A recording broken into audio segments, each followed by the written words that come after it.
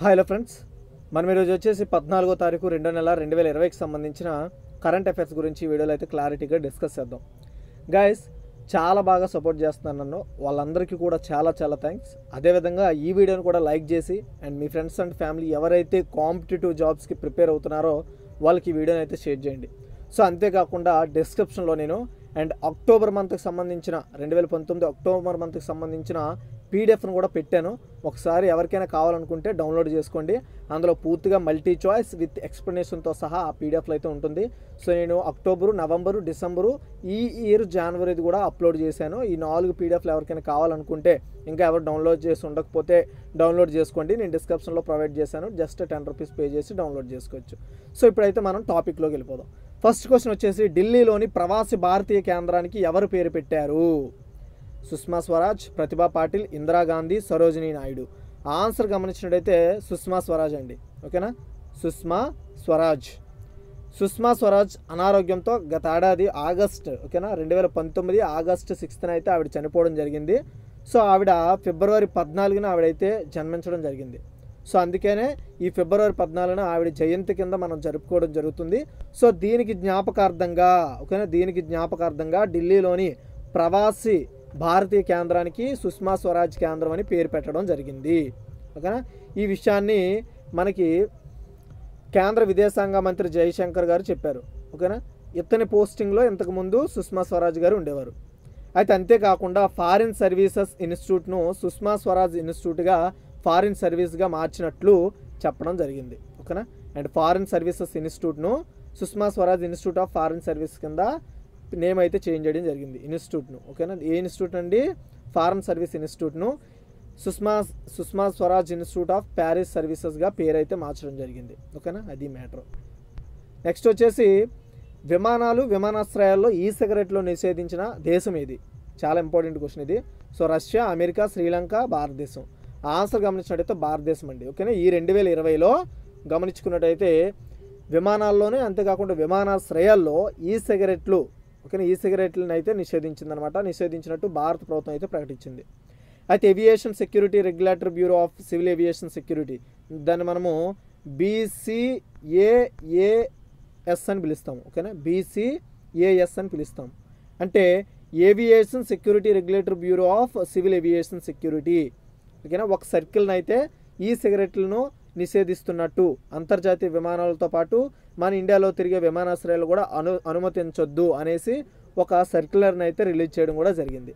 అయితే నేరస్తులకు ఏడాది వరకు జైలు శిక్ష. అంటే ఇది ఎవరైనా ఒకవేళ వాడి వాడితే విమానాశ్రయాలు కానీ విమానాల్లో కానీ వాళ్ళకి ఏడాది అంటే వన్ ఇయర్ పాటు జైలు శిక్షతో పాటు లక్ష రూపాయల జరిమానా కూడా ప్రతిపాదిస్తాము అని కూడా చెప్పడం జరిగింది. ఓకేనా? ఈ సిగరెట్ల నిషేధం బిల్లును అయితే మనకి ఆల్రెడీ ప్రవేశపెట్టడం కూడా ఇంతకుముందే జరిగింది పార్లమెంట్లో. సో దాన్ని అయితే ఇప్పుడు అమలు చేసేటట్టుగా ఒక సర్క్యులర్ని అయితే రిలీజ్ చేయడం జరిగింది. సో ఈ ఈ యొక్క సర్క్యులర్ ఏం చెప్పారంటే ఆ సర్క్యులర్లో అంటే విమానాశ్రయాల్లో కానీ విమానాల్లో కానీ ఎవరైనా వాడినట్టయితే వాళ్ళకి సంవత్సరం పాటు జైలు శిక్షతో పాటు వన్ ల్యాక్ జరిమానా కూడా వేస్తారు ఫైన్ కూడా. Next third one. గ్లోబల్ బ్యాంకింగ్లో బ్రాండ్ విలువతో అత్యధిక పెరుగుదల జాబితాలో ఏ బ్యాంక్ అగ్రస్థానంలో ఉంది ఉంది? ఓకేనా? గ్లోబల్ బ్యాంకుల్లో బ్రాండ్ విలువలో అత్యధిక పెరుగుదల జాబితాలో ఏ బ్యాంకు అగ్రస్థానంలో ఉంది? IndusInd bank HDFC bank ICICI bank Axis bank. Answer గమనించినట్టయితే ఇండస్ అండ్ బ్యాంక్ అండి ఓకేనా? ఇండస్ అండ్ బ్యాంక్ వచ్చేసి గ్లోబల్ బ్యాంకుల్లో బ్రాండ్ విలువల్లో అత్యధిక పెరుగుదలలో అగ్రస్థానంలో ఉన్న బ్యాంక్ అనమాట ఇది ఓకేనా? అయితే the bank top five hundred bankings brands రెండు వేల ఇరవై నివేదికలో ఈ విషయాన్ని అయితే వెల్లడించడం జరిగింది. ఓకేనా?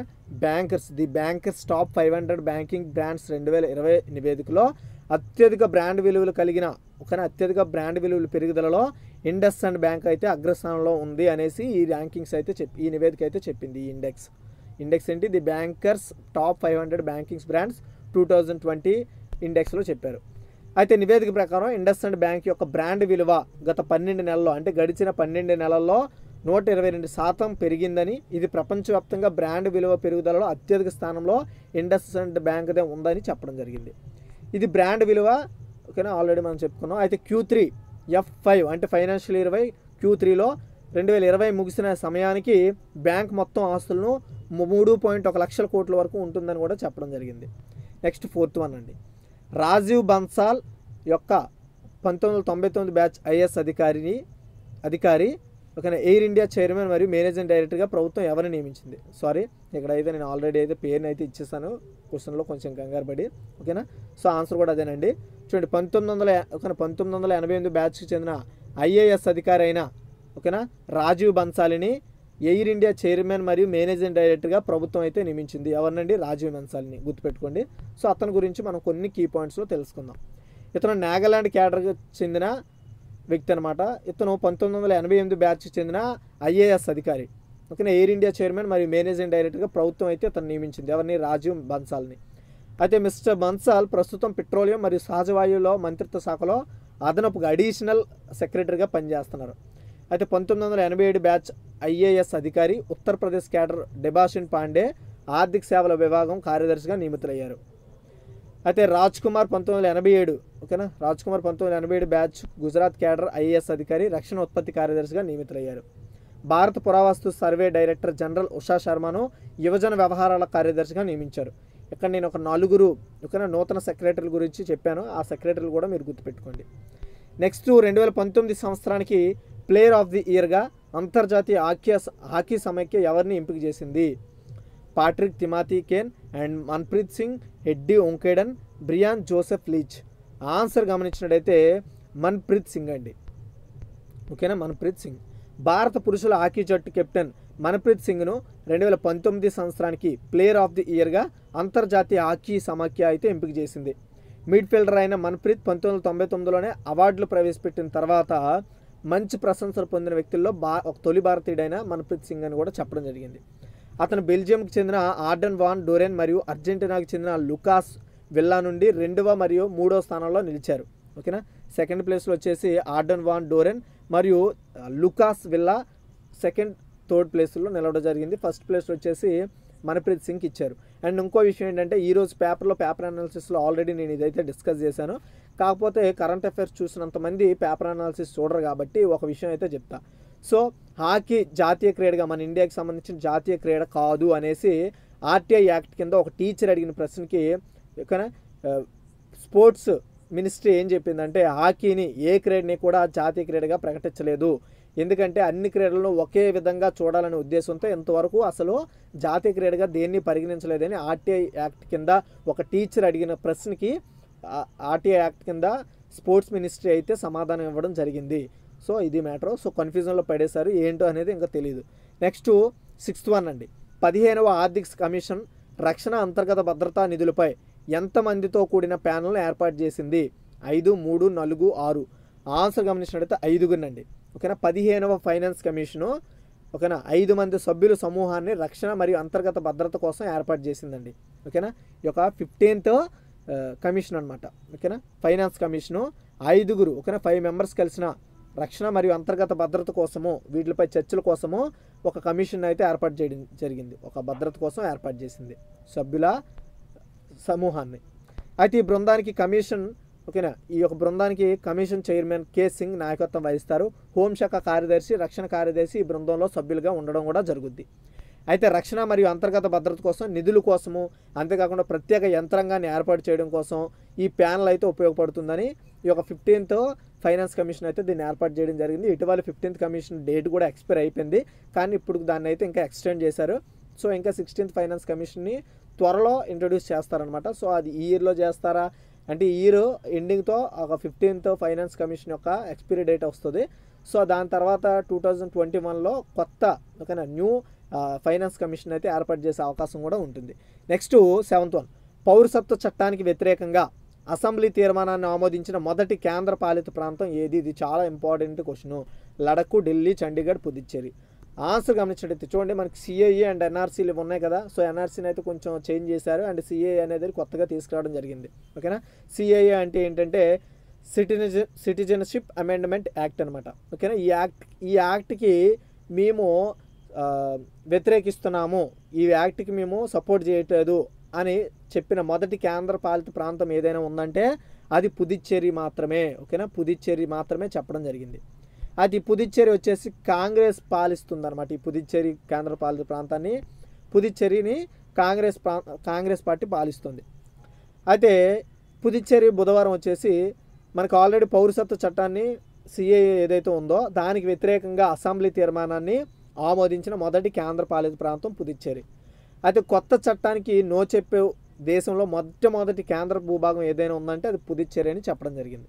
ఇంతకుముందు ఆల్రెడీ ఐదు రాష్ట్రాలు మనకి ఈ చట్టానికి వ్యతిరేకంగా అసెంబ్లీ తీర్మానాన్ని కూడా ఆమోదించిన విషయం మనకు తెలిసిందే. ఓకేనా?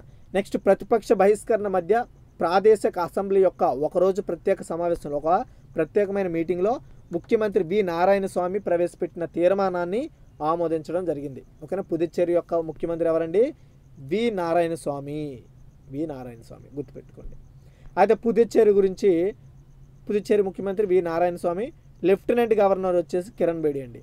ఓకేనా? సో మనము టెరటరీ యూనియన్ టెరటరీస్కి వచ్చేసి మనం లెఫ్టినెంట్ గవర్నర్గా పిలుస్తామన్నమాట. దానికి వచ్చేసి కిరణ్ బేడి గారు వ్యవహరించడం జరుగుద్ది పుదుచ్చేరికి. Next eighth one. UAE cricket డైరెక్టర్గా ఎవరిని నియమితులయ్యారు? ఓకేనా? యూఏఈ క్రికెట్ డైరెక్టర్గా ఎవరిని నియమితులు నియమితులు చేశారు? నియమించారు యూఏఈ. సరణ్ దీప్ సింగ్ సంజయ్ బంగార్ రాబిన్ సింగ్ సచిన్ టెండూల్కర్. ఇంకో విషయం ఏంటంటే యూఏఈ క్రికెట్ డైరెక్టర్గా మన ఇండియాకి చెందిన ఒక ఒక మాజీ క్రికెట్ ఒక మాజీ క్రికెటర్నే డైరెక్టర్గా నియమించారు. అతని పేరేంటి? ఆన్సర్ గమనించినట్లయితే రాబిన్ సింగ్ అండి. ఓకేనా? రాబిన్ సింగ్ను యూఏఈ క్రికెట్ డైరెక్టర్గా నియమించడం జరిగింది. అదేంటో ఒక్కసారి చూద్దాం. ఎమిరిటేట్స్ క్రికెట్ బోర్డు డైరెక్టర్గా మాజీ భారత్ క్రికెటర్ అయిన రాబిన్ సింగ్ను నియమించారు. ఎమిరిటేట్స్ క్రికెట్ బోర్డు ప్రధాన కోచ్ డౌగీ బ్రౌన్ను తొలగించిన తర్వాత ఇంతకుముందు ఎవరు ఉండేవారు? క్రికెట్ ఓకేనా? యునైటెడ్ అరబ్ ఎమిరిటీస్కి క్రికెట్ బోర్డు డైరెక్టర్గా వచ్చేసి డౌగీ బ్రౌన్ ఉండేవారు. సో అతన్ని తొలగించిన తర్వాత రాబిన్ సింగ్ను ఆ యొక్క పొజిషన్లో నియమించినట్లు యూఈ ఓకేనా? యూఏఈ క్రికెట్ బోర్డు అయితే చెప్పడం జరిగింది. అయితే రాబిన్ సింగ్ పంతొమ్మిది వందల ఎనభై తొమ్మిది రెండు వేల ఒకటి మధ్య ఓకేనా? ఒక టెస్ట్ అండ్ కాకుండా నూట ముప్పై ఆరు వన్డేలు ఇంటర్నేషనల్ వన్డేలు అనమాట కోసం భారతదేశానికి ప్రాతినిధ్యం వహించాడు అనమాట రాబిన్ సింగ్. నెక్స్ట్ వచ్చేసి నైన్త్ వన్ అండి. కొత్త ఆర్థిక కార్యదర్శిగా ఎవరు నియమించారు? ఎవరు నియమించారు? డెబాసిట్ పాండా గులాబీ నవి సంతోష్ దావల్ అజయ్ జోషి.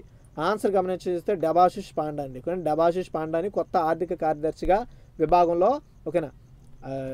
ఫైనాన్షియల్ మినిస్ట్రీస్లో విభాగంలోని కొత్త ఆర్థిక కార్యదర్శిగా డబాసిస్ పాండాని నియమించారు. ఓకేనా? గుర్తుపెట్టుకోండి. అయితే పర్సనల్ మినిస్ట్రీ ఉత్తర్వుల ప్రకారము సీనియర్ ఐఏఎస్ అధికారి అయిన డబాసిస్ పాండాను కొత్త ఆర్థిక కార్యదర్శిగా గురువారం నియమించారు. ఉత్తరప్రదేశ్ కేడర్ యొక్క పంతొమ్మిది వందల ఎనభై ఏడు బ్యాచ్ చెందిన ఐఏఎస్ అధికారి డెబాషిష్ పాండా అనమాట ఓకేనా? ప్రస్తుతం అతను ఆర్థిక సేవల విభాగంలో ప్రత్యేక కార్యదర్శిగా పనిచేస్తున్నారు. ఇప్పుడు అతని ఫైనాన్స్ ఓకేనా? ఫైనాన్స్ సెక్రటరీగా ఓకేనా ఇండియా ఫైనాన్స్ సెక్రటరీగా డెబాషిష్ పాండేని నియమించడం జరిగింది. ఓకేనా? నెక్స్ట్ పదవదండి. రెండు వేల ఇరవై ఐక్యరాజ్య సమితి యొక్క international fund for agriculture development ఓకేనా ఐఎఫ్ఏడి యొక్క ఎన్నవ పాలక మండలి సమావేశం జరిగింది. నలభై రెండవ నలభై మూడవ నలభై ఐదవ నలభై ఏడవ. ఆన్సర్ గమనించినట్లయితే నలభై మూడవ అండి. ఓకేనా? ఐక్యరాజ్య సమితి యొక్క international fund for agriculture development ఓకేనా? ఐక్యరాజ్య సమితి కింద పనిచేసే international fund for agriculture development ఏదైతే ఉందో దీని యొక్క నలభై మూడవ పాలక మండలి మీటింగ్ని అయితే రెండు రోజుల పాటు రోమ్లోని ఎఫ్డబ్ల్యూ యొక్క ప్రధాన కార్యాలయంలో జరిగింది. ఓకేనా? ఈ సంస్థ యొక్క ఈ సంస్థలో నూట డెబ్బై ఏడు సంస్థలు సభ్య దేశాలుగా పనిచేస్తున్నాయి. అందులో ఇంటర్నేషనల్ ఫండ్ ఫర్ అగ్రికల్చర్ డెవలప్మెంట్లో నూట డెబ్బై ఏడు సభ్య దేశాలు ఉన్నాయి. ఓకేనా? ఇది ఐక్యరాజ్య సమితి కింద పనిచేస్తుంది. అయితే ఈ నలభై మూడవ రెండు వేల ఇరవైలో జరిగిన ఈ నలభై మూడవ పాలక మండలి యొక్క శీర్షిక అంటే థీమ్ ఏంటి అని అడిగితే రెండు వేల ముప్పై నాటికి ఆకలిని తీర్చడానికి సిద్ధమైన ఆహార వ్యవస్థలో పెట్టుబడులు పెట్టడము. తెలుగులో అయితే ఇంగ్లీష్లో చూసుకున్నట్టయితే investing in sustainable food systems to end hunger by two thousand twenty ఓకేనా? రెండు వేల ముప్పై నాటికి ఆకలి తీర్చడానికి ఒక సస్టైనబుల్ ఆహార వ్యవస్థను వ్యవస్థపై పెట్టుబడులు పెట్టడమే ముఖ్య ఉద్దేశంగా ఈ థీమ్ని అయితే ఏర్పాటు చేశారు. ఓకేనా? సో ఏంటంటే వైకల్యం ఆహార భద్రత మరియు గ్రామీణ అభివృద్ధి అదనంగా అంటే వాతావరణంలో వాతావరణంలో జరిగే మార్పుల నేపథ్యంలో సంఘర్షణలకు పరిష్కరించడానికి ఆ ప్రాబ్లమ్స్ను సాల్వ్ చేయడానికి అంతేకాకుండా శాంతిని ప్రోత్సహించడానికి మరియు చిన్న వ్యాపార మరియు యజమానుల స్థితిస్థాపతలను పెంపొందించడానికి మార్గంగా గ్రామ గ్రామీణ అభివృద్ధి గురించి ఈ సమావేశంలో అయితే చర్చించుకుంటున్నారు అని ముఖ్యంగా తెలవడం జరిగింది. అయితే ఒక వ్యవసాయ అభివృద్ధి అంతర్జాతీయ నిధి ఐఎఫ్ఏడి అని పిలుస్తాము దీన్ని తెలుగులో మనము. అదే ఇంగ్లీష్లో మనం గమనించినట్టయితే international fund for agriculture development. అదే తెలుగులో మనం గమనించినట్టయితే వ్యవసాయ అభివృద్ధి అంతర్జాతీయ నిధి దీన్ని ఐఎఫ్ఏడి అని పిలుస్తాము. ఓకేనా? ఇది మ్యాటర్ అనమాట దీని ఒక ప్రధాన కార్యాలయం వచ్చేసి రోమ్లో ఉంది. సో అదే రోమ్లో నలభై మూడవ ఓకేనా పాలక మండలి సమావేశాన్ని అయితే పెట్టుకోవడం జరిగింది. ఓకేనా? దీన్ని ఎప్పుడు స్థాపించారని అడిగితే పంతొమ్మిది వందల డెబ్బై ఏడులో స్థాపించారు. ఇది యూఎన్ కింద అంటే ఐక్యరాజ్య సమితి కింద పనిచేస్తుంది అనమాట సభ్య సభ్య సంస్థ ఇది. నెక్స్ట్ పదకొండు. నవంబర్ రెండు వేల ఇరవైలో బ్రిటన్ ఆతిథ్యం ఇవ్వబోయే కాప్ ట్వంటీ సిక్స్ యొక్క ఇన్ఛార్జ్ ఎవరు? ప్రీతి పటేల్ రిషి సునక్ నవదీప్ బైన్స్ అలోక్ శర్మ. ఆన్సర్ గమనించినట్టయితే అలోక్ శర్మ అండి. రెండు వేల ఇరవై నవంబర్లో బ్రిటన్ ఆతిథ్యం ఇవ్వబోయే కానీ కీలకమైన ఐక్యరాజ్య సమితి వాతావరణ సదస్సు దీన్ని మనము సిఓపి అని పిలుస్తాము. ఇరవై ఆరవ ఇరవై ఆరవ మీటింగ్ అనమాట ఈ ఇరవై ఆరవ సదస్సు. దీనికి అలోక్ శర్మ ఓకేనా అలోక్ శర్మ కొత్త యూకే మంత్రిగా ఎంపిక అవ్వడం జరిగింది. సో అతను దీనికి ఇన్ఛార్జ్గా ఉండడం జరుగుద్ది. అది మ్యాటర్. నెక్స్ట్ పన్నెండు. ఫిబ్రవరి పద్నాలుగు రెండు వేల ఇరవైన పోర్చుగీస్ అధ్యక్షుడు అయిన మార్సెలో లెబోలో డి సస్ ససో ససో ఓకేనా? సౌసా గుర్తుపెట్టుకోండి. పోర్చుగీస్ అధ్యక్షుడు ఎవరండి? Marcelo Rebelo de Sousa. దేశ పర్యటన సందర్భంగా మన దేశానికి అతను పర్యటన కోసం వచ్చాడు. ఆ ట్రంప్ వచ్చేసి ట్వంటీ ఫిఫ్త్ ట్వంటీ ఫిఫ్త్న ట్వంటీ ఫోర్త్ ట్వంటీ ఫిఫ్త్న అయితే మన దేశానికి వస్తారు. సో అంతకుముందు వచ్చేసి పోర్చుగీస్ అధ్యక్షుడైన మార్సేలో రెబోలో డి సౌసా అధ్యక్షుడు అయితే రావడం జరిగింది. సో ఈ పర్యటనలో భాగంగా మన ఇండియా అండ్ అంతేకాకుండా పోర్చుగీసు ఓకే ఈ రెండు కలిపి ఎన్ని ఒప్పందాలపై సంతకాలు చేసుకున్నాయి? ఏడు ఎనిమిది తొమ్మిది ఆరు. ఆన్సర్ గమనించినట్టయితే ఏడు అండి.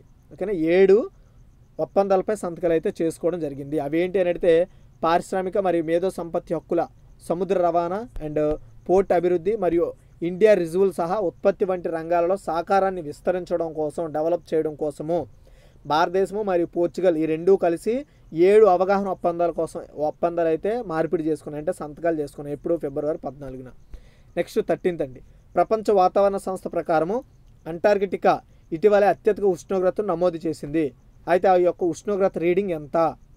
పద్దెనిమిది పాయింట్ మూడు డిగ్రీలు సెల్సియస్ అండ్ ఇరవై పాయింట్ డెబ్బై ఐదు డిగ్రీలు సెల్సియస్ ఇరవై ఒకటి పాయింట్ ఇరవై ఐదు డిగ్రీలు సెల్సియస్ పంతొమ్మిది పాయింట్ నాలుగు డిగ్రీలు సెల్సియస్. ఆన్సర్ గమనించినట్టయితే ఇరవై పాయింట్ డెబ్బై ఐదు డిగ్రీలు సెల్సియస్ అండి దాని గురించి ఏంటో ఒకసారి చూద్దాం. అంటార్కిటికాలో ఇటీవల అధికంగా ఇరవై పాయింట్ డెబ్బై ఐదు డిగ్రీల సెల్సియస్ ఉష్ణోగ్రత అయితే నమోదైందని ప్రపంచ వాతావరణ సంస్థ అయితే చెప్పడం జరిగింది. గుర్తుపెట్టుకోండి. గతంలో అదే ఖండంలో నమోదైన అత్యధిక ఉష్ణోగ్రత చూసుకుంటే పద్దెనిమిది పాయింట్ మూడు డిగ్రీల సెల్సియస్ అండి. ఇది జనవరిలో చూసుకుంటే పద్దెనిమిది పాయింట్ ఎనభై రెండులో నమోదైందని చెప్పడం సారీ ఇది ఇదే సెల్సియస్ కానీ ఇదే సెల్సియస్ పంతొమ్మిది వందల ఎనభై రెండు జనవరిలో కూడా నమోదైందంట.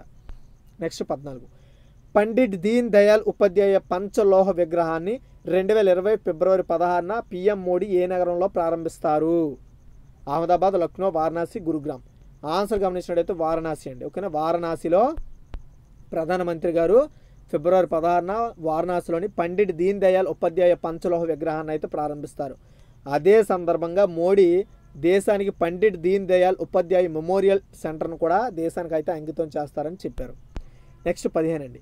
ఏపీ రాష్ట్ర ఎన్నికల సంఘ రా ఓకేనా? ఏపీ రాష్ట్ర ఓకేనా? ఏపీ రాష్ట్ర ఎన్నికల సంఘం రాష్ట్రంలోని ఓకేనా? రాష్ట్రంలో మొత్తం ఎంతమంది ఓటర్లు ఉన్నారని తెలిపింది. ఈరోజే చెప్పింది. అయితే ఎంతమంది ఓటర్లు ఉన్నారని చెప్పింది.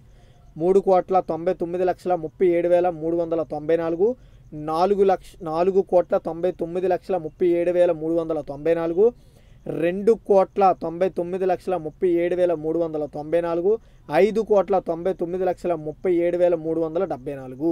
ఓకేనా?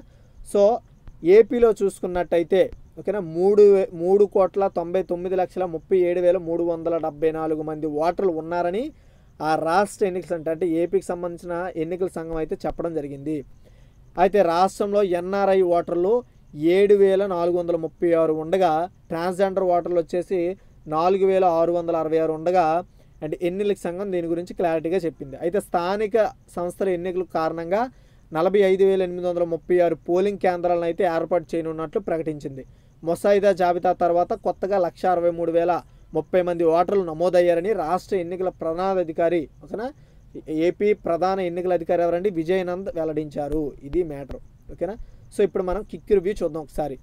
ఏపీ రాష్ట్ర ఎన్నికల సంఘం రాష్ట్రంలో మొత్తం మీద ఎంతమంది ఓటర్లు ఉన్నారని చెప్పిందని అడిగితే మూడు కోట్ల తొంభై తొమ్మిది వేల ముప్పై ఏడు వేల మూడు వందల తొంభై నాలుగు ఓటర్లు ఉన్నారని చెప్పడం జరిగింది. నెక్స్ట్ వచ్చేసి పండిట్ దీన్ దయాల్ ఉపాధ్యాయ పంచలోహ విగ్రహాన్ని రెండు వేల ఇరవై ఫిబ్రవరి పదహారున పిఎం మోడీ గారు ఏ నగరంలో ప్రారంభిస్తారని అడిగితే వారణాసి. తర్వాత వచ్చేసి ప్రపంచ వాతావరణ సంస్థ ప్రకారము అంటార్కిటికా ఇటీవల అత్యధిక ఉష్ణోగ్రత నమోదు చేసింది. అయితే ఆ యొక్క ఉష్ణోగ్రత రీడింగ్ ఎంత అని అడిగితే ఇరవై పాయింట్ డెబ్బై ఐదు డిగ్రీ సెల్సియస్ అండి. ఓకేనా? నెక్స్ట్ వచ్చేసి ఇదే సెల్సియస్ వచ్చేసి పంతొమ్మిది వందల ఎనభై రెండులో కూడా నమోదైందని చెప్పారు. నెక్స్ట్ వచ్చేసి ఫిబ్రవరి పద్నాలుగు రెండు వేల ఇరవైన పోర్చుగీస్ అధ్యక్షుడు భారత పర్యటనలో ఉన్నారు. అయితే ఈ రెండు వేల ఫిబ్రవరి రెండు వేల ఇరవై ఫిబ్రవరి పద్నాలుగున పోర్చుగీసు అధ్యక్షుడైన మార్సెల్లో లెబోలో డి సౌసా మన ఇండియాతో ఎన్ని అవగాహన ఒప్పందాలు మార్పిడి చేసుకున్నారని అడిగితే ఏడు. ఓకేనా? నెక్స్ట్ వచ్చేసి నవంబర్ రెండు వేల ఇరవైలో బ్రిటన్ ఆతిథ్యం ఇవ్వబోయే సిఓపి ఇరవై ఆరు అంటే కాప్ ఇరవై ఆరు యొక్క ఇన్ఛార్జ్ ఎవరు అని అడిగితే అలోక్ శర్మ అండి. అలోక్ శర్మ వచ్చేసి బ్రిటన్కి చూసుకున్నట్టయితే ఓకేనా? యూకేకి యునైటెడ్ కింగ్డమ్కి వచ్చేసి అలోక్ శర్మ అయితే మినిస్టర్గా ఎంపిక కావడం కూడా జరిగింది. నెక్స్ట్ వచ్చేసి రెండు వేల ఇరవై ఐక్యరాజ్య సమితి యొక్క international fund for agriculture development ఐఎఫ్ఏడికి యొక్క ఎన్నవ పాలక మండలి సమావేశం జరిగిందని అడిగితే నలభై మూడవ అండి. సో ఓకేనా? ఈ యొక్క థీమ్ ఏంటంటే investing in sustainable food system to end hunger by two thousand twenty అనే థీమ్తో జరపడం జరిగింది. తర్వాత వచ్చేసి ఇండియాకి కొత్త ఆర్థిక ఆర్థిక ఆర్థిక కార్యదర్శిగా ఎవరిని నియమించారని అడిగితే డెబాసిస్ పాండాని. తర్వాత వచ్చేసి యూఏఈ క్రికెట్ డైరెక్టర్గా ఎవరిని నియమించారు అని అడిగితే రాబిన్ సింగ్ అనమాట రాబిన్ సింగ్. తర్వాత క్వశ్చన్ వచ్చేసి పౌరసత్వ చట్టానికి వ్యతిరేకంగా అసెంబ్లీ తీర్మానాన్ని ఆమోదించిన మొదటి కేంద్రపాలిత ప్రాంతం ఏదని అడిగితే పుదుచ్చేరి అని గుర్తుపెట్టుకోండి. తర్వాత వచ్చేసి పదిహేను ఆర్థిక కమిషన్ రక్షణ అంతర్గత భద్రతా నిధులపై ఎంతమందితో కూడిన ప్యానల్ని ఏర్పాటు చేసిందని అడిగితే ఐదుగురితో కూడిన. తర్వాత రెండు వేల పంతొమ్మిది సంవత్సరానికి ప్లేయర్ ఆఫ్ ది ఇయర్గా అంతర్జాతీయ హాకీ సమైక్య ఎవరిని ఎంపిక చేసిందని అడిగితే మన్ప్రీత్ సింగ్ అనమాట ఇతను మన ఇండియాకి చెందిన హాకీ ప్లేయరే. ఓకేనా? నెక్స్ట్ వచ్చేసి రాజీవ్ బన్సాల్. ఓకేనా? సారీ ఇక్కడ చూడండి. ఎయిర్ ఇండియా చైర్మన్ మరియు మేనేజింగ్ డైరెక్టర్గా ప్రభుత్వం ఎవరిని నియమించిందని క్వశ్చన్ అడిగితే రాజీవ్ బన్సాల్ అని గుర్తుపెట్టుకోండి ఓకేనా? సో ఇటీవలే ఒక నలుగురిని అయితే అపాయింట్ అయితే కొత్తగా సెక్రటరీని అయితే అపాయింట్ చేయడం కూడా జరిగింది. సో వాళ్ళ గురించి ఆల్రెడీ నేను చెప్పాను. నెక్స్ట్ థర్డ్ వన్ గ్లోబల్ బ్యాంకింగ్లో బ్రాండ్ విలువలో అత్యధిక పెరుగుదల జాబితాలో ఏ బ్యాంక్ అగ్రస్థానంలో ఉందని అడిగితే ఇండస్ అండ్ బ్యాంక్. తర్వాత వచ్చేసి విమానాలు విమానాశ్రయాల్లో ఈ సిగరెట్లు నిషేధించిన దేశం ఏదని అడిగితే గుర్తుపెట్టుకోండి భారతదేశం అండి తర్వాత వచ్చేసి ఢిల్లీలోని ప్రవాసి భారతీయ కేంద్రానికి ఎవరు పేరు పెట్టారని అడిగితే సుష్మా స్వరాజ్. ఇదిగా ఈరోజు ఒక టోటల్ కరెంట్ అఫైర్స్. నచ్చితే లైక్ చేయండి అండ్ షేర్ చేయండి. Thanks for watching.